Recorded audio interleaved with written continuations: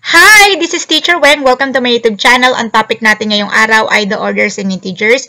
So, ngayong araw na to ay i-arrange natin yung integers, ayan, from least to greatest and vice versa. And i-compare natin yung dalawang integers. So, kung gusto nyong malaman kung paano sagutin ng mga ito, keep on watching.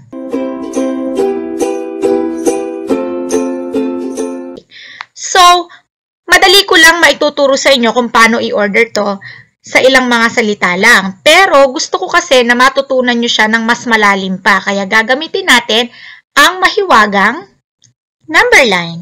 Ayan. So, sa lahat ng model na pwede nating gamitin, sa tingin ko, yung number line ang pinakamagandang gamitin para malaman natin yung proper order ng integers. Okay? So, meron tayong dalawang klase ng number line. We have the horizontal number line and the vertical number line. So, pareho natin ginagamit ito para malaman natin kung ano yung tamang order ng integers. Alin ba yung mas malaki or alin yung mas maliit ang value. Okay, magsimula tayo dito sa ating horizontal number line. Okay, so kung marunong kang mag-drawing ng number line, definitely, madali mo lang din malalaman kung alin sa mga numbers or integers ang mas malaki at yung mas maliit. Okay, halimbawa, Itong zero natin, ito yung tinatawag natin na neutral number. It is neither positive nor negative. Hindi siya positive, hindi siya negative. Nasa gitna siya ng positive at negative. Okay? So, dito tayo sa mga positive numbers or positive integers. So, by the way, pag sinabi nating integers, hindi siya decimal, hindi siya fraction.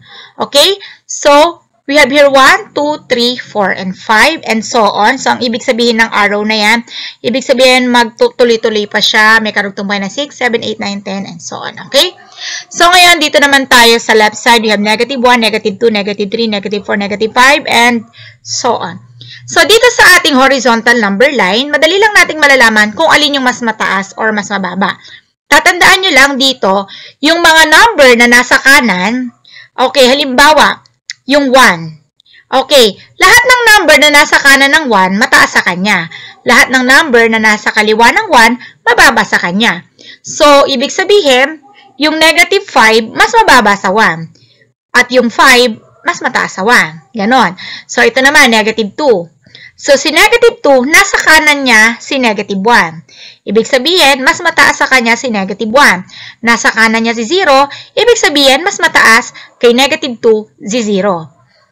Okay? So, dito naman, ibig sabihin, mas mababa si negative 5 kaysa sa negative 2. Ayun. So, ganun yung kanyang arrangement. Ibig sabihin, habang nagpupunta siya dito sa bandang kanan, mas tumataas yung number. Ngayon, kung ako ang tatanungin, mas madaling tandaan kung mas mataas o mas mababa ang integer kung nahandito tayo sa vertical number line kasi madali siyang makita. So, kung mapapansin nyo dito, obvious yan na habang pataas yan or habang pataas yung uh, number natin pag ganon, ibig sabihin mas mataas ang value. So, halimbawa, itong 0, alam natin na yung 3 mas mataas sa 0. Sa negative 2 naman, alam natin na mas mataas si 0 kaysa kay negative 2. Tama po ba? Mas mataas si 1 kaysa kay negative 2. Kasi sa position pa lang niya, di ba, pataas. So, ngayon, um, ang pagbabasihan natin yung tinuro ko sa inyo kanina dito. So, dito sa number 1 na given natin, arrange negative 2, 1, negative 11, 0, 5 from least to greatest. So, alin kaya dito yung mas mababa at alin yung mas mataas? So, punta tayo dito sa vertical number line. So, here, kung isusulat mo, Ayan. So, definitely, si negative 11, saan mo siya isusulat?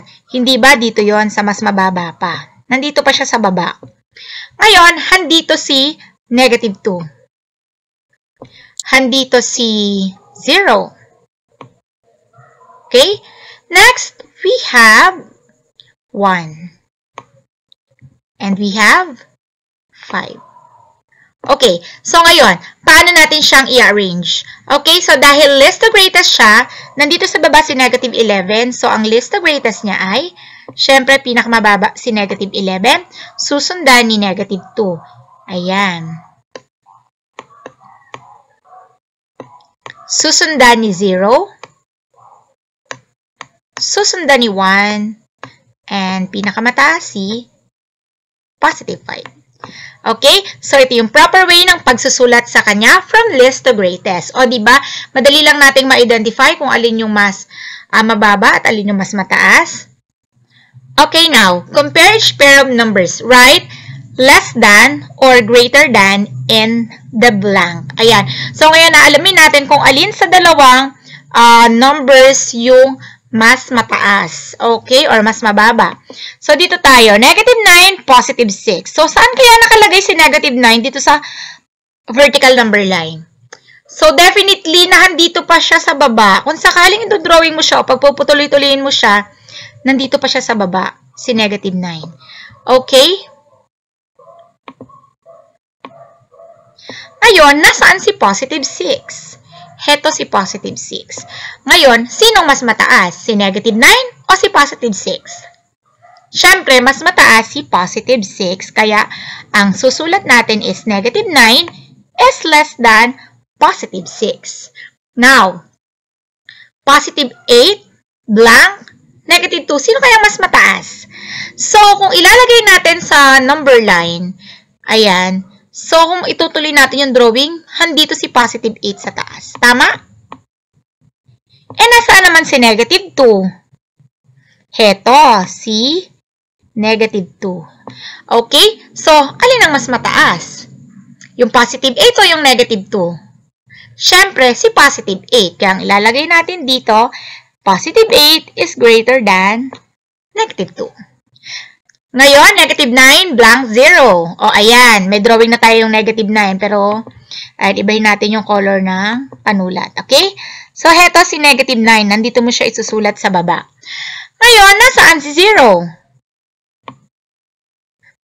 Okay. Sino ay ang mas mataas? Si negative 9 o si 0? Siyempre, mas mataas ang 0. Kaya ang gagawin natin, ang ilalagay natin is less than symbol. Negative 9 is less than 0. Ayan. So, sa madaling salita, kapag positive yung number, of course, habang tumataas yung uh, digit, disregard the sign, ayan, mas tumataas yung value. Ngayon naman, kapag ka negative number naman, mas tumataas yung um, number, disregard the sign, mas bumababa ang value. Yung mga positive numbers, mas mataas siya sa 0. At yung mga negative numbers, mas mababa siya sa 0. Hanggang sa muli ako si Teacher Weng. Sana'y nagustuhan nyo yung lesson natin ngayong araw na to. Sana ay natutunan nyo kung paano i-arrange yung integers from least to greatest and vice versa. At sana'y natutunan nyo rin kung paano malaman kung alin ang mas mataas at mas mababa sa dalawang integers.